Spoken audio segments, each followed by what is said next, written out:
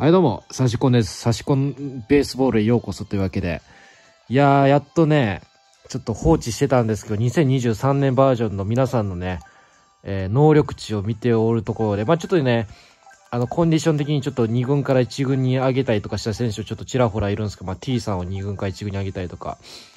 いや、まずね、衝撃的なのはこの森友哉。見てください。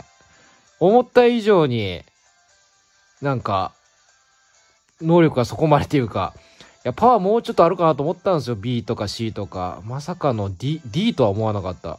まあ、去年の成績と比べるとこんな感じなのか。で、なおが、まあ、肩は A、あ、肩 A になってるね。あれ、前まで B とかそんな感じじゃなかったっけ？どうやったらちょっと思い出せない。パワーが B。うん。まあね、あ、ま、中川圭太もいるし、ほら、シュウィンデル。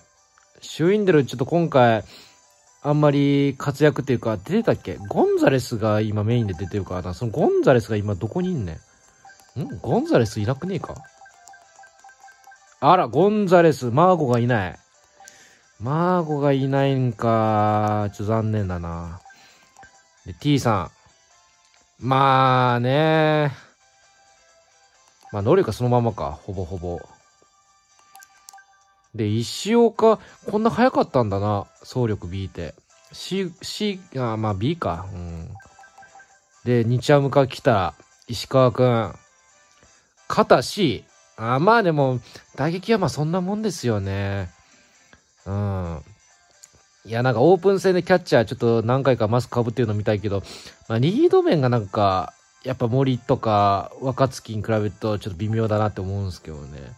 うん、まあ若月は安定の肩 A というわけでね。他、他はどうでしょうかね。あ、内藤宝君。なんとね、新、新入団ね、うん、新人で、パワーが C というわけで。やっぱオープン戦とかでも結構ね、あの、アピールしてましたからね。やっぱもう、今後の4番を座ると言っても過言ではないかもしれない、この内藤がね、パワー C というわけで、まあ、将、将来的にも有望じゃないですかね。で打者ばっかり言ってたんだけど、ピッチャーはどうなのかっていうと、ピッチャー、ちょっと待ってな。すいません、片手ですると、ああ、やっとできた。はい。まあ、こんな感じとなっておりますと。で、まあ、山本は B の A の159キロは、なんか前より上がってる気がするけど、違うか？微妙に上がってるよな。あれ、近藤ちょっと下がってない？どうやろう？ちょっと前回の、去年のデータがよくちょっと覚えてないんであれだけど、山岡は、山岡も上がってない？どうやろう？ちょっとすいません、なんかもうここんな動画アップ、アップしようとしてるのに、去年のデータ全然、あのー把握してないの。は本当申し訳ない。吉田亮、あ、外にいた、新人の外に。152キロ、コントロールいい、スタミナいい。あ、確かに、かコントロールがなんか、よ、あんまりよろしくないっていうのはなんか、あのスポーツのなんか、ね、あの新聞っていうか、なんかニュースで言ってたな。オープン戦も確かにフォアボールあったな。